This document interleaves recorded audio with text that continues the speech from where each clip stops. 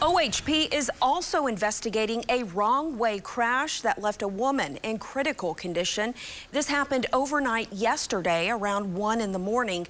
Troopers say a car was driving eastbound in the westbound lane of I-44 near Kelly. That driver crashed head-on into a car headed westbound. Troopers say the driver was under the influence.